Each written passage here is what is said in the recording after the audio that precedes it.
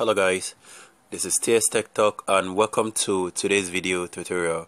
So um, today I'm going to be showing you guys how to customize your um, Facebook Messenger Lite um, conversation with an individual you're having a conversation with on your Facebook Messenger Lite. So let's go ahead and open our Facebook Messenger Lite click on it to open wherever you have it saved on your device and then click on this area and then let's start working on it.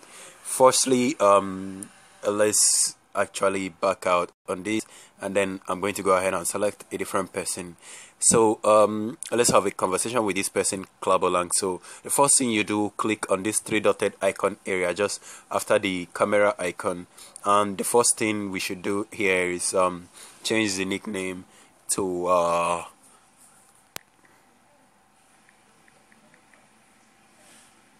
Gaming so um, go ahead and save on the and you can notice the nickname change. And also we can also change my own nickname to so um ts tech talk and then go ahead and click on save. So once you've done that back out and then the next thing we should do to customize our chart is click on this area and we could actually change the color and the look of this.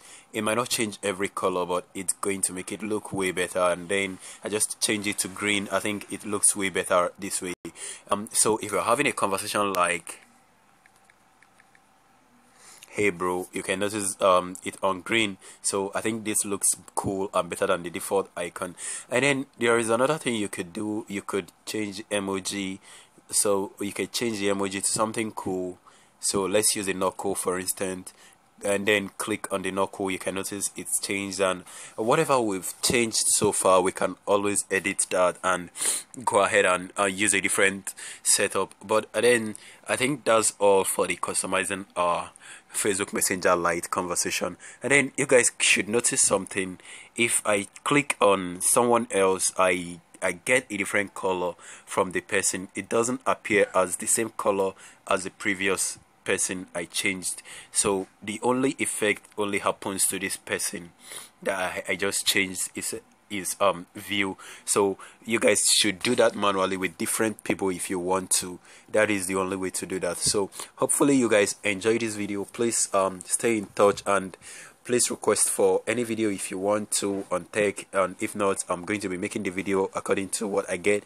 So see you guys tomorrow for a new video. And don't forget to subscribe and like the channel's video. And please share the video with your friends so that they will be able to support also. So see you guys some other time